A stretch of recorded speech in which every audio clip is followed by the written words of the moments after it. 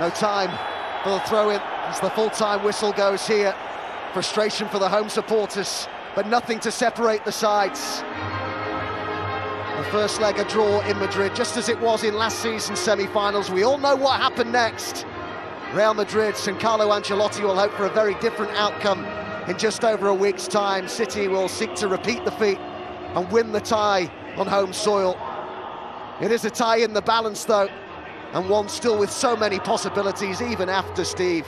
What was an outstanding game of football that toed and fro tonight. Yeah, outstanding game of football. Some outstanding goals and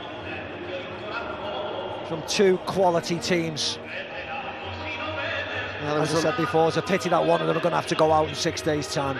A lot to like about that tonight. We look forward to the second leg in Manchester. Full time here, Real Madrid 3, Manchester City 3.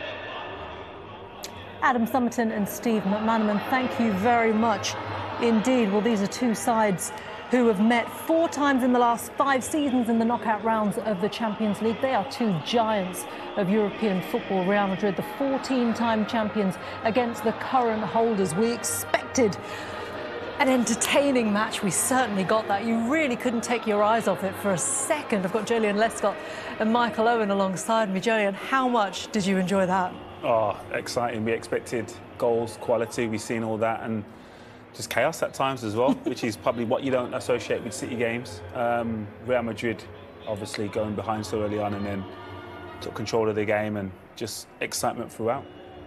Yeah, the level, the standard of finishing was exquisite, wasn't it? Six goals, game beautifully poised for for uh, for the game at the Etihad. And I think City will be happy. You see them going over to their fans now, clapping their fans.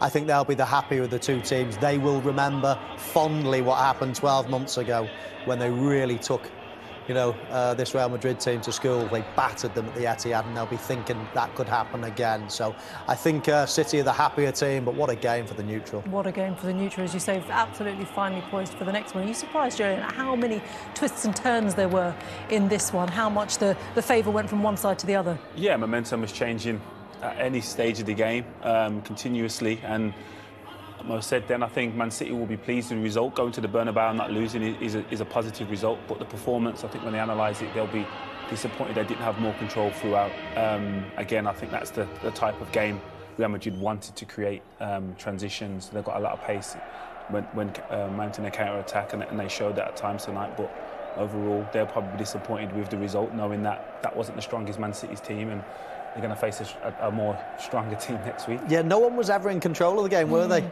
It was like City scored early, then bang, bang, you know, their opponents, Madrid scored, and then bang, bang, City go out. It, it was almost like nobody had total control at any point, which made you always on the edge of your seat.